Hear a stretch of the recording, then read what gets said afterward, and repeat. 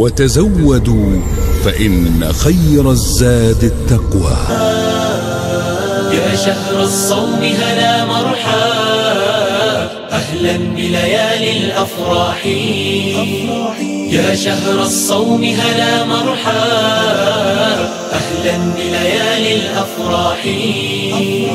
فالنفس تسر بمقدمه كي تحصد كل الأرباح. ذكر وصيام. بسم الله الرحمن الرحيم. الحمد لله رب العالمين والصلاة والسلام على رسول الله صلى الله عليه وسلم. لا إله إلا الله وحده لا شريك له الملك وله الحمد وهو على كل شيء قدير. الصلاة والسلام على النبي الرحمة الرسول الهدى. صلوات ربي وسلامه عليه وعلى آله وصحبه أجمعين. وبعد السلام عليكم ورحمة الله وبركاته. هذا الله سبحانه وتعالى. ينفذ ذي insha allahu tacaala inaan halkan ka soo jeedino qiso ku saabsan ninkii la odhan jiray luqmaan alxakiim oo runtii kelimadaasi loogu daray oo runtii iskana lahaana xikmadaas iyo waxaa la sheegay ilaahayna u qaray subxaana wa marka luqmaan suurada dil ilaahay kaga waramay tabaaraka watacaala oo wasaayaadkiisi iyo dardaarankiisiina lagu dhammaystiray ninkaasi oo runtii magiciisa lagu sheegay cadadan uu qeyb ka mid yahay shakhsiyaad qur'aanku sheegeen ama dad ilaahay subxaana watacaala inoo sheegay ama dad qisooyinkeedu aada looga helo uu ka mid yahay oo ama xadiisyada nabigeena ku sugan caleyhi salaatu wasalaam ama qur'aanka lagu sheegay maxaana looga jeedaa ashkhaastaasi maaragtay lagu sheegay had iyo jeer ama qur'aanka ama lagu sheegay xadiisyada nebiga si aan ugu dayano dad saalixiin oona way ahaayeen luqmaanka luqmaan baa ka mid ahaa. Marka magaciisa runtii waa waxoogaa khilaafa ka jira. Inagu inta ugu muhiimsan un baan ka sheegaynaa. Waxaa lagu sheegay luqmaan ibnu baacuura baa la odhan jiray bay dhahdaan baacuura ibnu naaxuur. Waqiila luqmaan ibnu thaaraanna waa la yidhaahdaa. Waqiila luqmaan binu canqaa binu marwaan ayaa la idhaahdaa baa layidhi magacdaasi intaasi yani waa abtirsiintiisa wixii ku saabsan. Leannu addoon buu ahaa. Mararka qaarkood addoommada waxaa jira kolkay wadan tegaanba dadba magac bay ula bixi jireen. Markaasay markaa tafiirtoodii asalkii mararka qaarkood hallaabaysaa oo maaragtay qoyska meelaha yaalla markaa meelaha degan baa mararka qaarkood looga magac dhigayaa oo ku biiraya waxaana addoon u ahaa bay dhahdaan qoran la ydhaha reer beni xasxaas oo maaragtay dhulkaa ku noolaa dhulka masar iyo suudaan iyo intan markaa dhulka suudaan ama masar unbaa lasbaa la odhan jiray.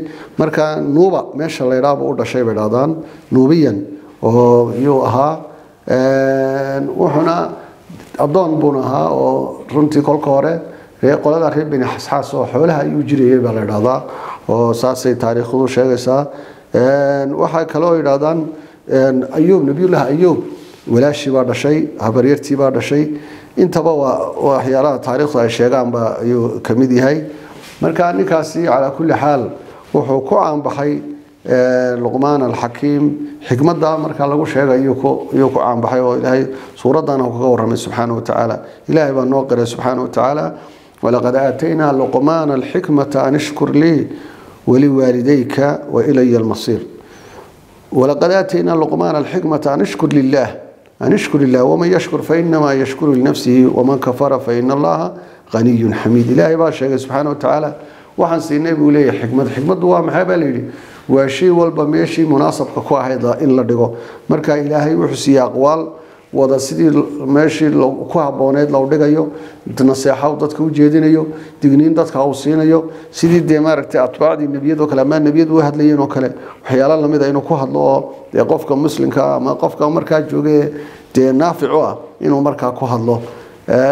Waxayna yidhaahdaan wuxuu ugu horeeyey dardaarankiisii ka mid ahaa shirkigu hortaba ka bilaababa laydhaa qaybta waan sheegi doonaa laakiin ilaahay inuu siiyey xikmad oo maaragtay waxa uu doortay si maaragtay mahadnaq ilaahay mahadnaqo sidaasaa maaragtay ugu horeysay shayga ugu horreeya ilaahay siiyey taasay ka mid ahayd ayaa ka mid ahaa inuu ilaahay subxaana watacaala xikmad siiyey. Luqmaan arqadaatiina luqmaan alxikma waa mid ka mid ay ahayd waxyaalaha ilaahay uu ku manaystay tabaaraka watacaala addoonkaasi oo runtii addoon qaali ahaa. Nacam waxyaalaha markaa luqmaan lagu xasuusto raximahu llahu tacaala ka waxaa ka mid a magaciisa kadib shayaashii markaa rajul saalixa buu ahaa ninku oo ilaahay qur'aanka ku sheegay magaciisii markii la sheegay kadib waxaa kaloo la sheegay sifaadkiisa wuxuu ninku ahaa baa la yidhi nin aada iyo aada bini aadanka u yaqaano kala yaqaano bini aadanka kani waa qof fiican kani waa qof xun. Saasuu markaa sifooyin wanaagsanna markaa uu ku sifoobay xikmad iyo maskax iyo caqligiisoo ilaahay raajix ka dhiga iyo qalbi naxariisle iyo runtuu sheega iyo amiin inuu aamin ahaa iyo inuu cafiif ahaa iyo inuu adkaysi badnaa iyo dadka dareenkooga inuu aada iyo aad u dareemi jiray maaragtay waxyaalaha baahiyahooga markaas aada iyo aada u fahansanaayo inuu aada u fikiri jiray oo ilaahay daatadiisa ilaahay subxaana watacaala qaabka u abuuray ilaahay aayaadkiisa iyo ou ka fikiri jiray. Inta badanna cibaado aada iyo aada u wadi jiray. Midda kalena ahuna ku hadli jirin ilaa wax muhiima mooyaane. Wax muhiima unbuu ku hadli jiray. Wax walba kuma hadli jira wax muhiima unbuu ku hadli jiray. Wuxuu markaa muxuu ka shaqayn jiray waxay qaar yidhaahdeen khayaad buu ahaa oo dhartolu ahaa qaar waxay yidhahdeen xaabaguru oo soo iibin jiray. Maalin walba maaragtay mawlaagiisa ama ninkii addoonka u ahaa ayuu qaadi jiro maaragtay u iibin jiray oo markaas wixii ka baxa u diri jiray. Waqiila waxaa la yidhi mihnatu waxay ari buu jiray jiray.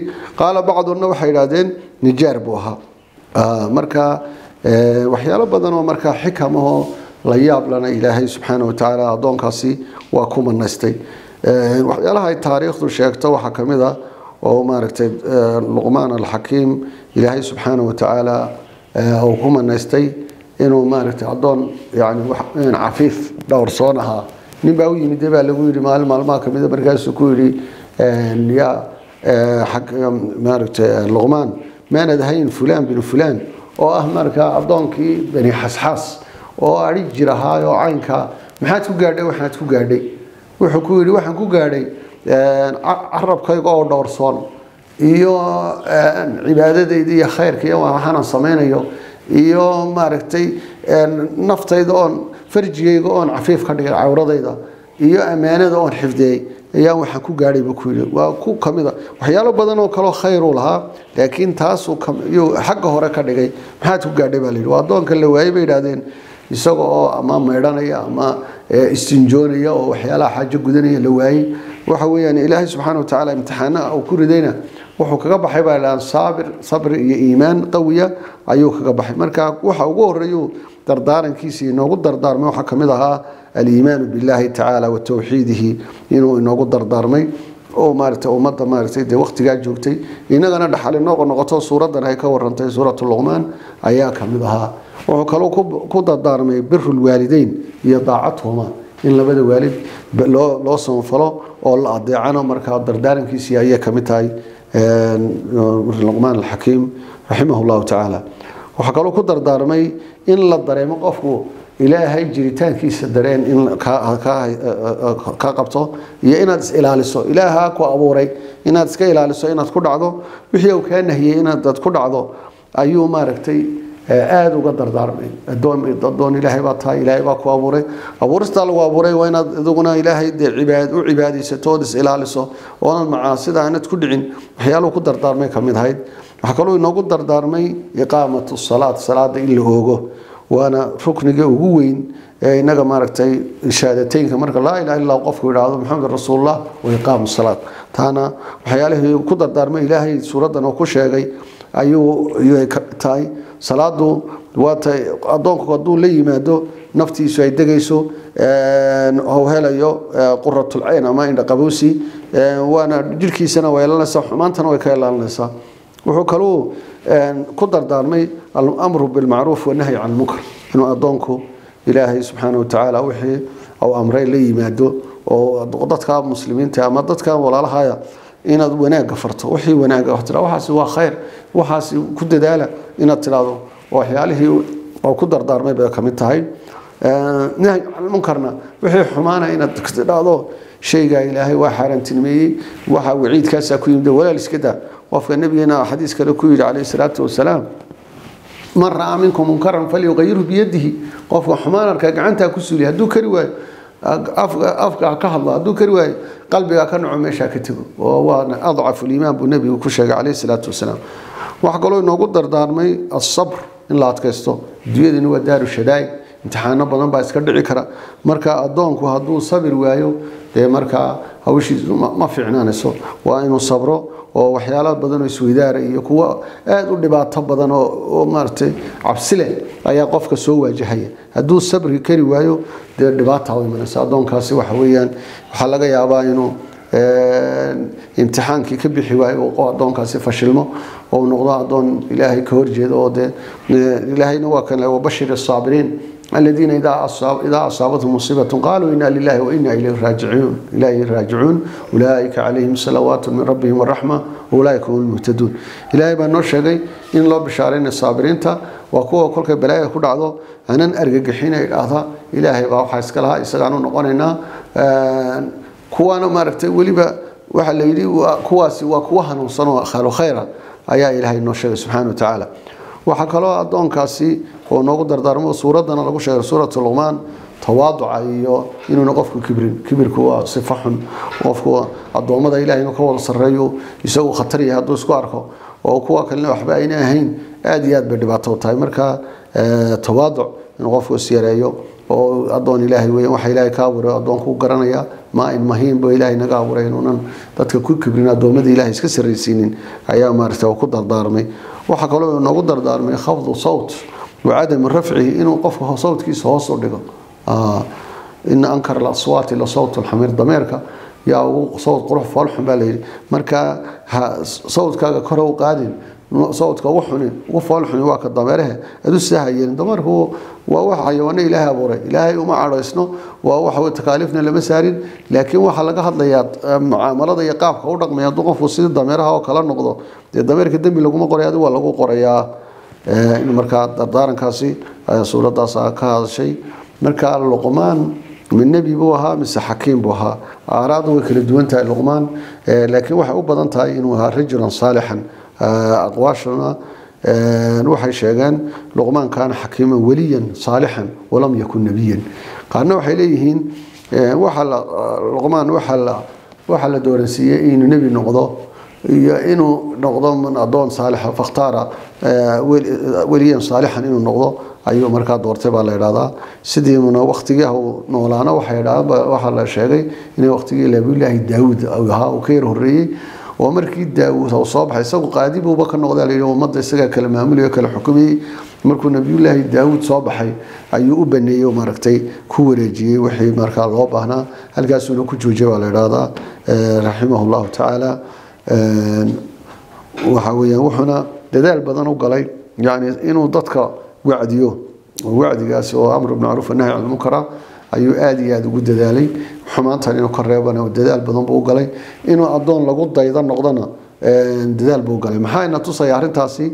Dee qur'aanku siduu uga sheekeeyey iyo suuradda dalina isaga lagu magacaabay iyo in aqwaashiisii badankoogii laynoo soo raray iyo intaa qur'aanku inoo sheegay aad bay markaa qaali u tahay walaalayaal. Markaa luqmaan inaga markaa waxaa inoogu sugan cibar badan maadaama uu wanaagsan oo ilaahay aada u xasuusanahay oo aada ilaahay ugu xidhan inaan markaa ka faa'iidaysano inaguna addoomo ilaahay ku xidhan noqono oon dadaalno oo inaan maaragtay xumaanta aan iska ilaalino oon ilaahay subxaana watacaala cibaadadiisa laban laabno oon camal saalixa la imano oon ilaahay subxaana watacaala waxa uu noo diiday iskaga tegno wixii uu noo ogolaadayna aan la imano wixii xumaan aan ragnana inaan dadka u sheegno na iska daayan idhaano wanaaggan aan farno waxyaalo inooga tegay ka mid tahay birul waalideynka ka mid waxyaalo ugu xoog badan. Waxaa kaloo ka mid a shirkiga in la iska ilaaliyana yaa bunaya laa tushrik billahi ina shirka la dulmin cadiima wilina waa cibaadadaadii baan la aqbalaynin. Waxay noqonaysaa in cibaadadaasi habaan masuura noqoto sida gaaladoo kale aad noqoto haddaan shirki la timaado ilaah waxaa weydiisanaynaa inuu xawaashayna inoo hagaajiyo addoonkaasna inaan insha allahu tacaala ku dayano oo insha allahu tacaala sidiisoo kale yani khayrka la yimid aanu inagoona kale la imano ilaahay bisha khayr kalena inoo fududeeyo inoo soonkeyga iyo khayrkeyga ilaahay si wanaagsan inoogu fududeeyo subxaana wa tacaala. Kuwii ka faa'idaysteen allah inaga dhigo sala allahu cala nabiyina maxamed wala aalihi wasaxbihi wasalam